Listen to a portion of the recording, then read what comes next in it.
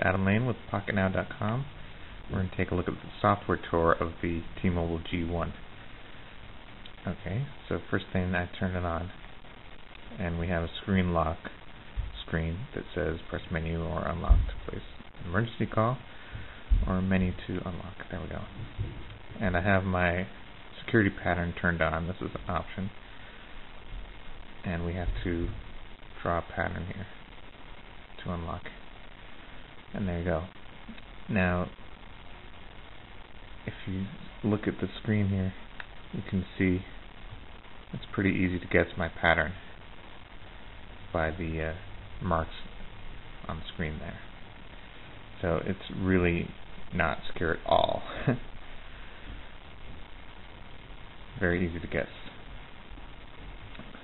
Might as well just not even use that. So here's our home screen. And we have a clock, some icons. If you go like this, you can go to other sides of the home screen and add more icons or widgets to there. There's a Google search.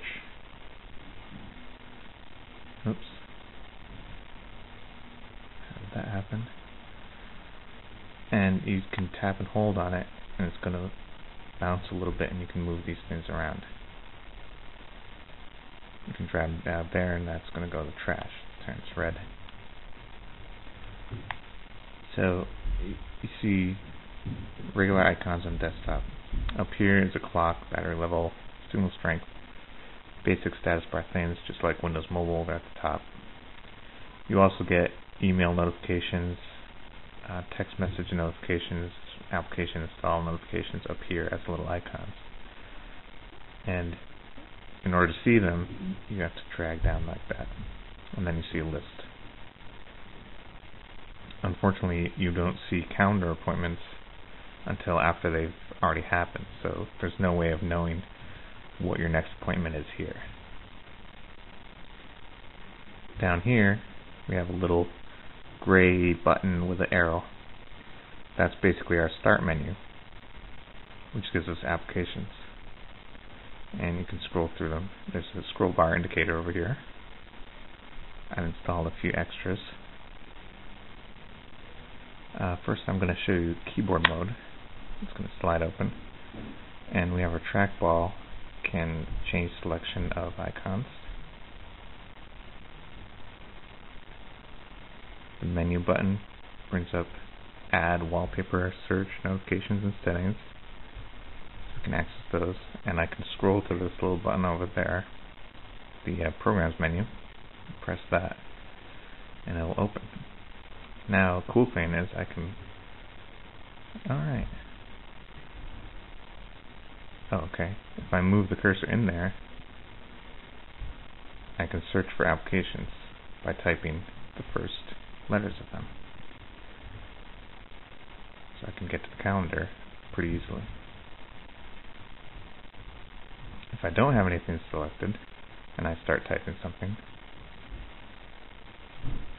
it goes to the phone dialer and brings up that contact, just like Windows Mobile and BlackBerry. So that's a really easy way to, to call somebody.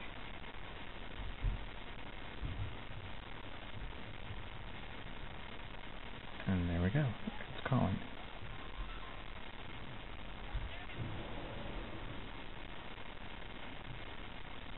So that's pretty nice.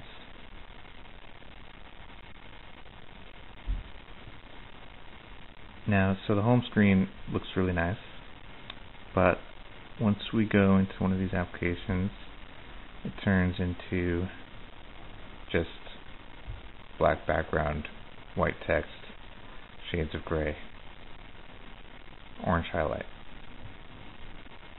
Very large buttons for your fingers, but pretty boring design. There's Gmail. Looks different, white background with black text.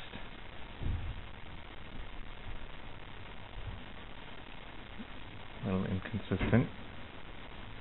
Calendar, even more different.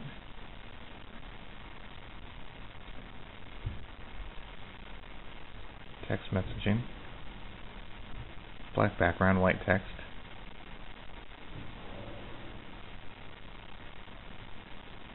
white background, black text.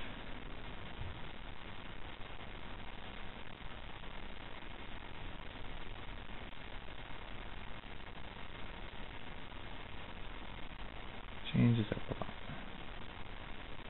Well, that's it for now with the uh, part one of the T-Mobile G1 software tower.